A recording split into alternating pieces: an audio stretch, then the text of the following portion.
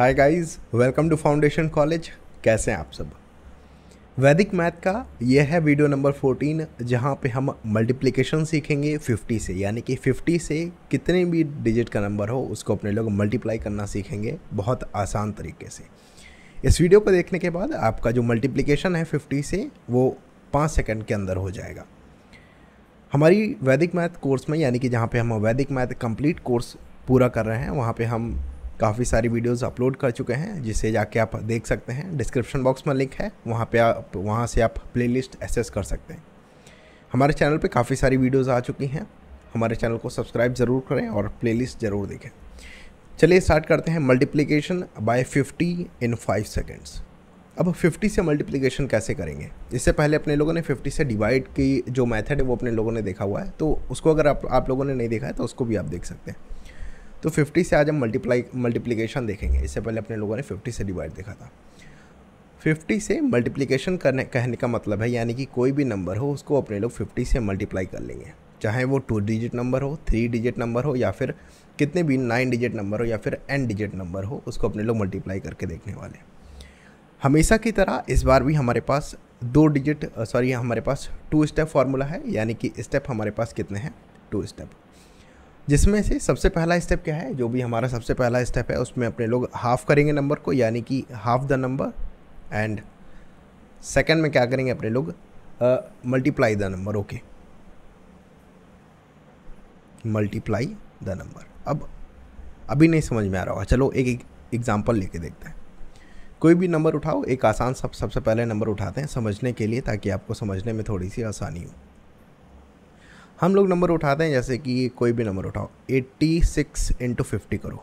86 six into fifty जब आप करोगे तो क्या आपका आंसर आने वाला है? तो सबसे पहले जो स्टेप है हमारा, वो क्या है? सबसे पहले जो भी नंबर है, उसको हाफ़ करो। तो हमारे पास नंबर है 86 पहला स्टेप जो भी नंबर है, उसको हाफ़ करो, यानी कि 86 डिवाइड बाय टू तो हमारे पास आंसर आ रहा है 43 अब दूसरा स्टेप क्या आता है कि जो भी हमारे पास नंबर आया, यानी कि 43 इंटू हंड्रेड कर दो।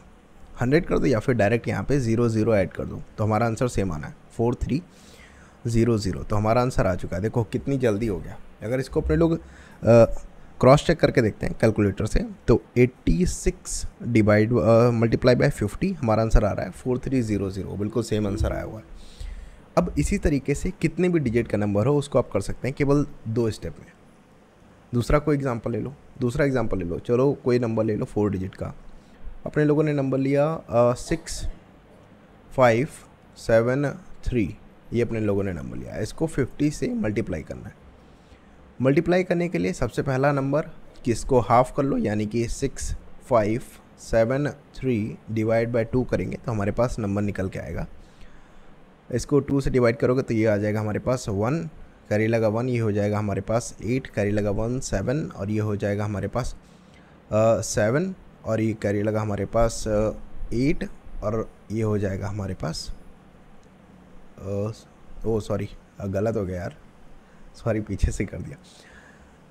थ्री आएगा यहाँ पे, फिर यहाँ पे आएगा हमारे पास टू उसके बाद आएगा हमारे पास एट उसके बाद आएगा हमारे पास सिक्स पॉइंट फाइव ये हमारा आंसर आ रहा है। तो इसको जब डिवाइड करोगे टू से तो हमारे पास ये आंसर आएगा।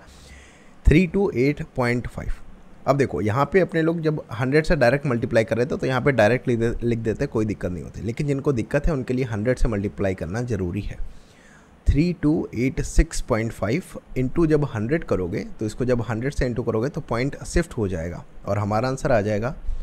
Three two eight six five zero ये हमारा आंसर आने वाला है। इसको एक बार क्रॉस चेक करके देख लेते हैं।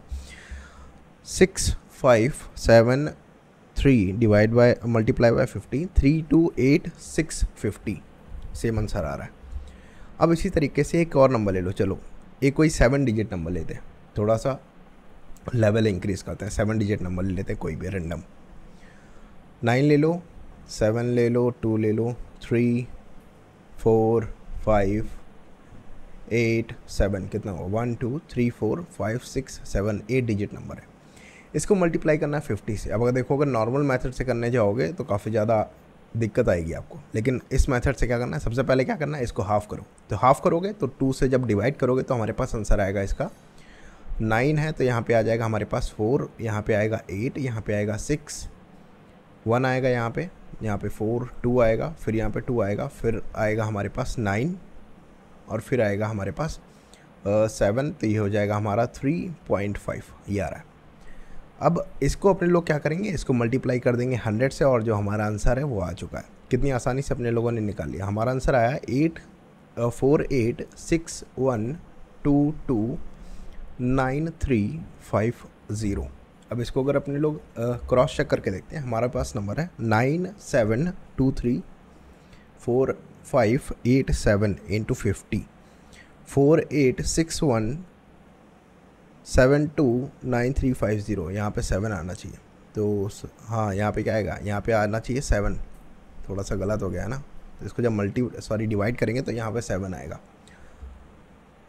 तो डिवाइड करते टाइम थोड़ा सा ध्यान रखिएगा हाफ़ करते टाइम है ना तो यहाँ पे क्या था देखो यहाँ पे नाइन था तो फोर आ गया सेवन था तो यहाँ पे हो जाएगा सिक्सटीन एट यहाँ पे थर्टीन यहाँ पे फोर्टीन आएगा तो यहाँ पे क्या आ जाएगा सेवन समझे अब देखो, इसी तरीके से काफ़ी सारे हमारे पास एग्ज़ाम्पल हैं, जो प्रैक्टिस क्वेश्चंस हैं, उनका आप जो प्रैक्टिस ओके जो हमारे पास प्रैक्टिस क्वेश्चंस हैं, उसका आप जो आंसर है, जो सॉल्यूशन है, वो आप कमेंट बॉक्स में बता सकते हैं. कोई भी नंबर ले लो, अपने लोगों ने नंबर ले लिया three fifty seven four into fifty